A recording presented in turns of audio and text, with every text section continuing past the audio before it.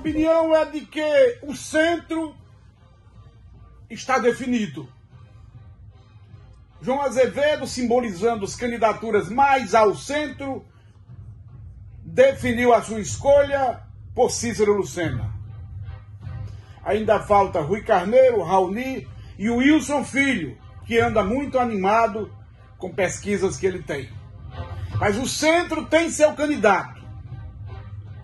Diferentemente, a esquerda e a direita estão ainda nas dúvidas.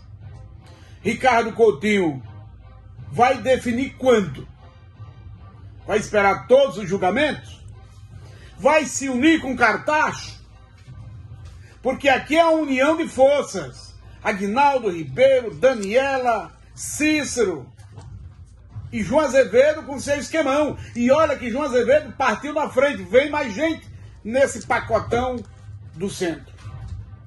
O PT, Cartacho e Ricardo Coutinho na esquerda vão se unir ou não vão?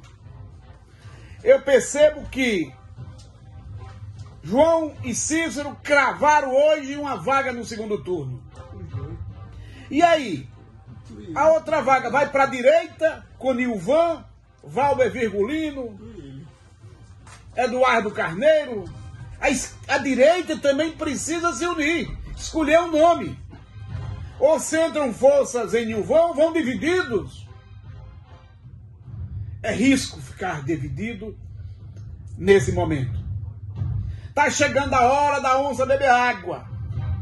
E João já deu a sua senha. Partiu na frente.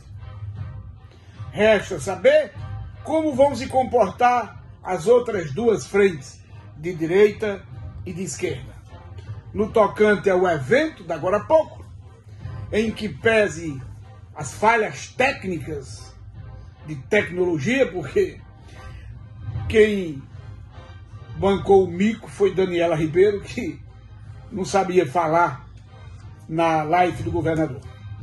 Mas é o fato do dia, a decisão do governador é esperar o tempo para ver as consequências dessa decisão. Pelo sim, pelo não, esta é a minha.